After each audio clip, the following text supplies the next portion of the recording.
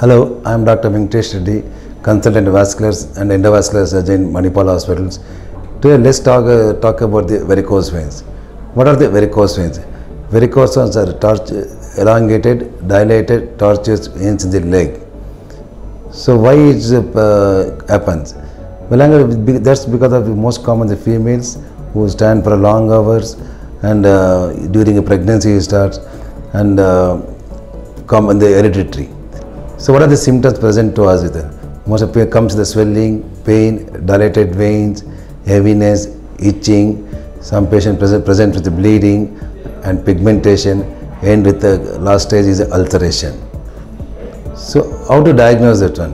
One is clinical examination, second one is the ultrasound duplex scan is diagnosed varicose vein. So what are the treatment uh, options available? See there are two procedures, one is open surgery, other one is endovascular procedures. In the open surgery nowadays we do very rarely, but we do it in some way where we can't do the endovascular procedure, still that is a treatment of choice. These are uh, called thermal and non-thermal. In thermal is called laser and radio frequency ablation. In the non-thermal called there is a MOCA and venous closure devices. All these procedures are done under most of the times under local anesthesia or some regional anesthesia. This is a daycare procedure. Patient present to us in the come to the morning. They will have the procedure percutaneous under ultrasound guide. We will do the puncture the vein and pass the fiber inside the vein and we will ablate from just uh, 5 centimeters below from SF junction to all the way down.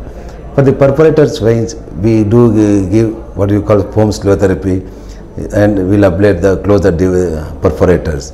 It's a simple procedure where it can be done in local anesthesia and patient stay in the hospital for a few uh, six, four to six hours procedure and get discharged in the evening. So usually post procedure patient can get back to his work after 24 hours of the procedure and uh, then they'll put them in the compression stocking and they can lead their normal life.